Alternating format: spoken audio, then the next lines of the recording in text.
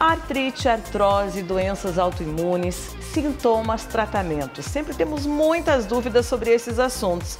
E para esclarecê-las e nos orientar, a convidada deste sábado será a médica reumatologista Maria Lara Piccolo. Não é isso, Maria?